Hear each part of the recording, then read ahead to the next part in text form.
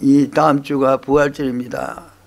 지금 고난주간 한 주일 고난주간인데 우리 삶이 예수 부활을 믿지 않으면은 예수 믿는 것도 다 헛것이에요. 그리고 예수 부활을 믿지 않으면은 우리도 부활할 거라는 보증이 없어요. 오직 예수 그리스도께서 부활하심으로 이 세상이 모든 것이 부활할 수 있고 부활하는 것입니다. 우리 주 예수님의 부활을 진심으로 찬양하며 영광을 돌립니다. 오늘은 어찌하여 우리 산자를 죽은 자 가운데서 찾느냐 이 제목으로 오늘 우리는 같이 은혜 받고자 합니다. 이것은 예수님의 부활하신 것을 본 사람이 할 수 있는 말입니다. 예수님의 부활하신 것을 믿는 사람 우리들도 할 수 있는 말이라는 것입니다. 그런데 지금 이 세상에는 많은 사람들이 살아계신 하나님, 살아계신 예수님을 죽은 자 가운데서 찾고 있는 것입니다. 죽은 스카모니를 믿고 죽은 공자를 믿고 죽은 마호메트를 믿고 죽은 조상까지 이들은 믿고 섬기며 귀신들이 귀신들을 섬기는 줄 자기들은 모르고 재물과 시간과 심지어 목숨까지 바치며 섬기고 있습니다. 이와 같이 종교에 빠진 사람은 자기 목숨을 헛된 데에 바치면서도 그것을 깨닫지 못하고 있습니다. 그리고 이 종교에 관계된 모든 사람들은 한결같이 돈을 최고의 신으로 받들고 섬깁니다. 돈이면 다 된다는 생각을 가지고 돈을 벌기 위해서 각종 사건, 사고, 이혼은 물론이고 심지어 상속금, 보험금을 노리고 부모, 남편, 아내, 자식까지 살인하는 일이 뉴스를 통하여 우리들이 많이 듣고 보고 있습니다. 전에 제가 우연히 한 사람 이야기하는 것을 들으니까 두 여자가 이야기하는데 네가 그렇게 사느냐? 아, 이혼하면은 위자료 받고 그래가지고 네가 편안히 살 수 있는데 왜 그렇게 사느냐? 이렇게 말하니까 그 여자가 너는 이혼 세 번 해가지고 얼마나 벌었나 하니까 나는 부자가 됐잖냐? 아, 참, 참 들어보고 참 기가 막히더라고요 우연히 지나가다 듣고 야 이 사람들이 돈벌이 하려고 이혼하는구나. 아, 이런 생각이 다 들더라고. 세상에 돈을 위해서 이렇게 타락한 사람들이 있다는 거 우리는 알아야 되겠습니다.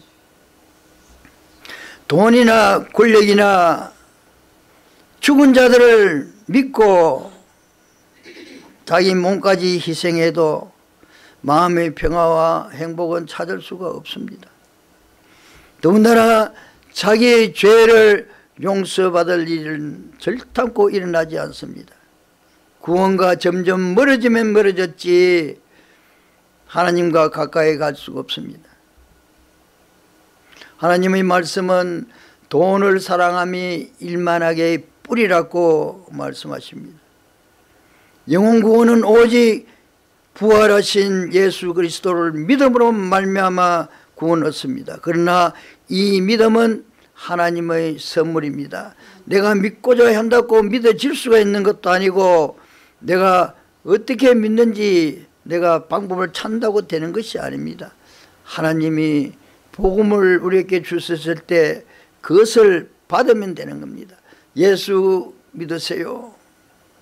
이 한마디가 그냥 우리는 지나가며 하는 말 같지만은 이 말을 듣고 주님의 뺀 백성들은 마음에 찔려서 예수를 믿게 되는 겁니다.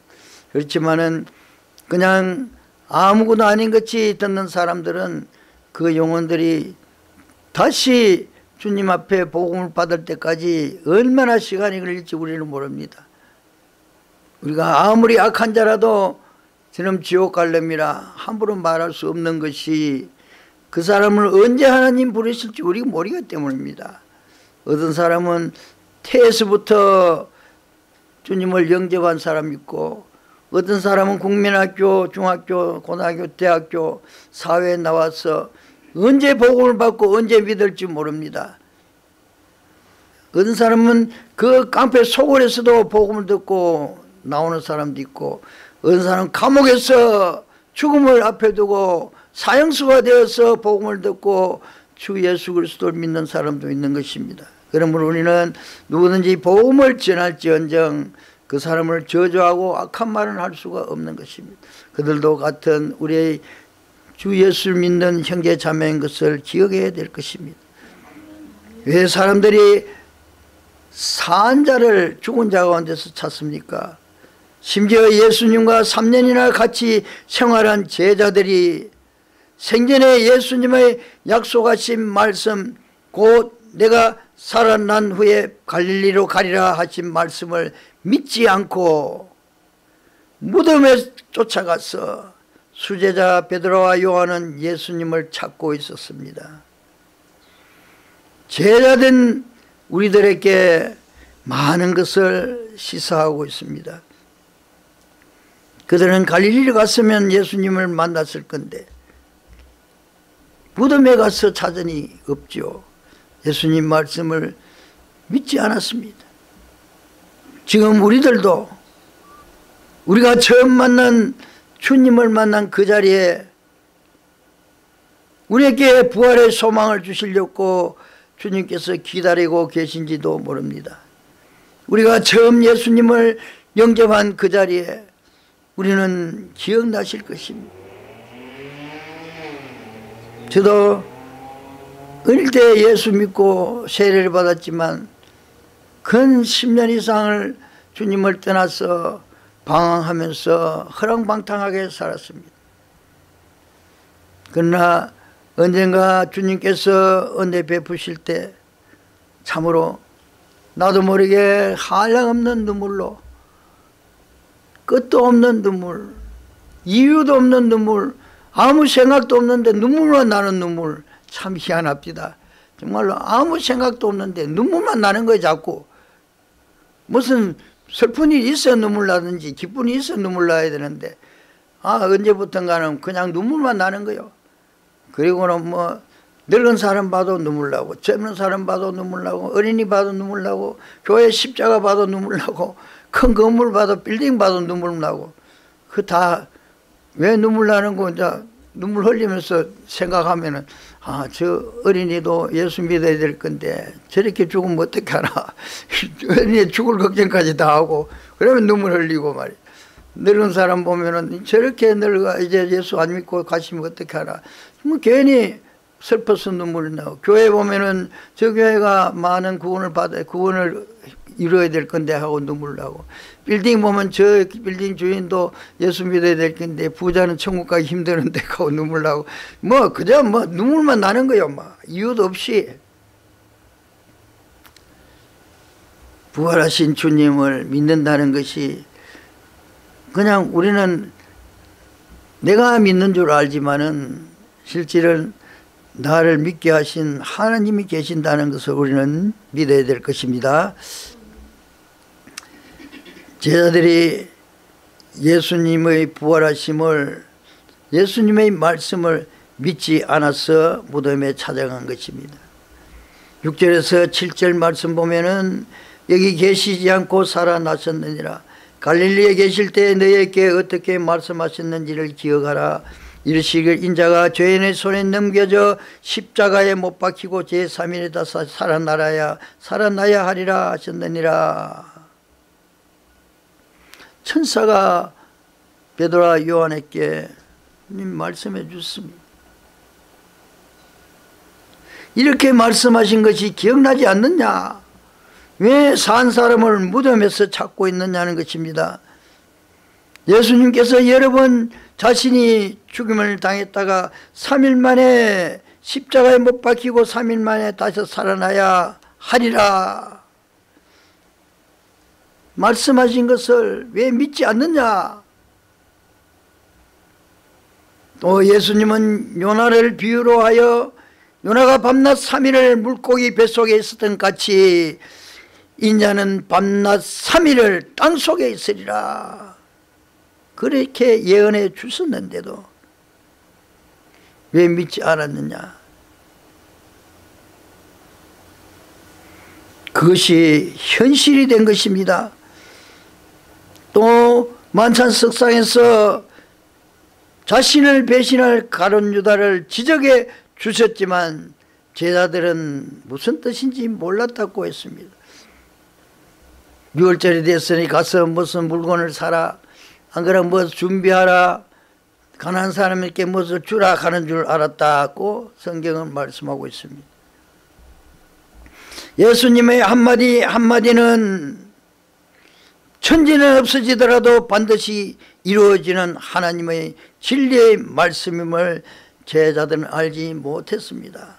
하나님 말씀은 과거에도 이루어졌고 지금도 이루어지고 있고 반드시 앞으로도 이루어질 것이므로 주님은 말씀하신 대로 부활하신 그 모습을 가지고 반드시 다시 오실 것입니다. 왜 무덤에서 예수님을 찾을까요? 지금이나 당시나 부활하신 예가 없기 때문입니다. 사람의 생각으로는 이해가 되지 않았기 때문입니다. 예수님의 말씀을 영적인 비유로 생각했지 현실로 받아들이지 않았기 때문입니다. 오늘날 우리들도 예수님을 믿는다곤 하지만 성경 말씀대로 믿지 않고 엉뚱하게 영적으로만 해석해서 믿는 사람들이 너무나 많습니다. 오늘의 우리의 신앙이 불신자들이 생각하는 같이 부활을 부정해서 되겠습니까? 왜 무덤에서 찾을까요? 하나님의 말씀에 따르면 인간은 죄로 인하여 죽게 되는데 예수님은 죄가 없으심으로 죽을 수가 없다는 것을 몰라서 무덤에서 예수님을 찾았던 것입니다. 예수님은 죽어 있을 수가 없습니다. 오늘날 우리들도 예수 그리스도를 믿고 주 예수 그리스도의 보혈로 죄시선 받아 거룩한 자가 된 사람은 죽어 있을 수가 없는 겁니다. 그러므로 예수님은 잠잔다고 했습니다. 나사로를 잠잔다 했습니다. 야이로의 딸을 잔다고 했습니다. 우리도 자면 자지 죽지는 말아야 될 것입니다. 하나님 믿는 자는 자는 것입니다.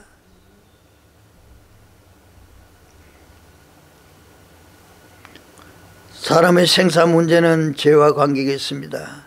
그래서 하나님 아들 예수 그리스도께서 대속의 구세주로 오신 것을 몰라서 저들은 무덤에서 예수님을 찾았습니다. 예수님의 부활로 인하여 하나님의 말씀이 진리임을 믿게 되었고 믿는 자들에게 소망이 있는 것입니다.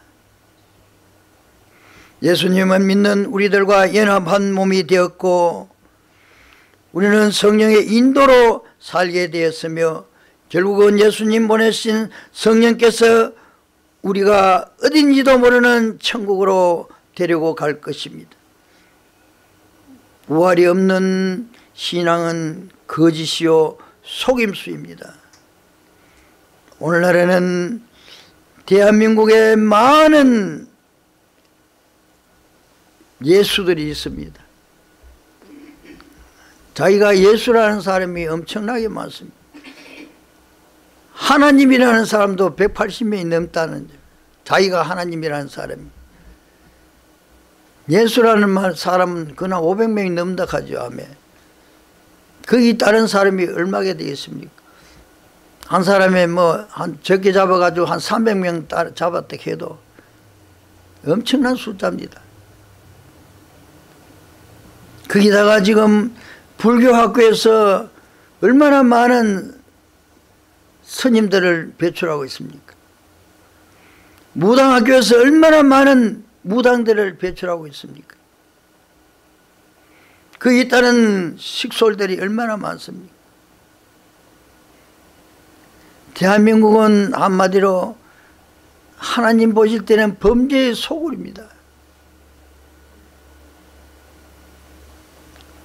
순 사기꾼만 찾아서 수사하던 검사가 말했습니다.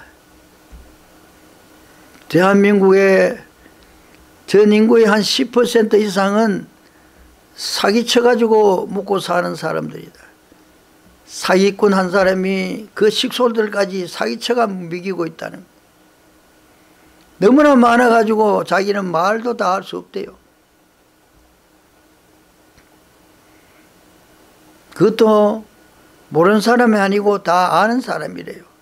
사기치는 사람이 아는 사람이기 때문에 그냥 그래 알았다 하고 그냥 돈 빌려주고 하지 말고 돈 빌려줄 때는 반드시 딴 거는 말 안 하더라도 언제 갚겠다는 말만 한 장만 받으래요. 그냥 뭐 얼마 빌려줬다 뭐 이런 거 필요 없고 그냥 언제 갚겠다는 말 하나 그거라도 딱 받아 놓으래요. 그것만 하나 있어도 내가 빌려줬다는 게 확정이 되고 빌려준 액수는 은행에 가면 다 나오니까 다 증명이 된다는 거예요. 그 종이 한 장, 내가 빌려줬다는 그 종이 한 장 없어가지고 소송 걸리가 지고 폐가 망신하고 빌려주고 바보 되고 이래 된대요. 어, 하나 받으는 거예요. 빌려줬다는 말. 그, 빌렸다는 그 사인 하나만 받으래. 그몇달 안 되는 거, 그거 하나만 받아놓으면은 소송에 이길 수 있고 받을 수 있다고. 너무 사기꾼이 많아서 자기가 이것을 가르쳐 준다고 이렇게 말하더라고.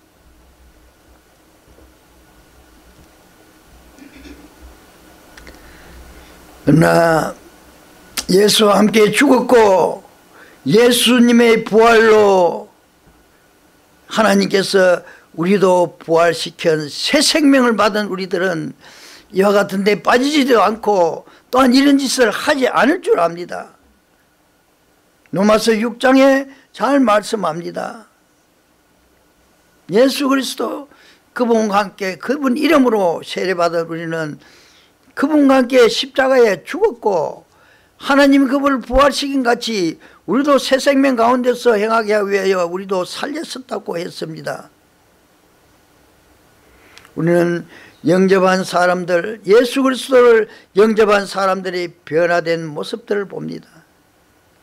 부모를 괴롭히던 탕자가 친구 따라 교회 갔다가 예수님을 영접하고 새 사람이 된 사례들도 우리는 차고 넘칩니다.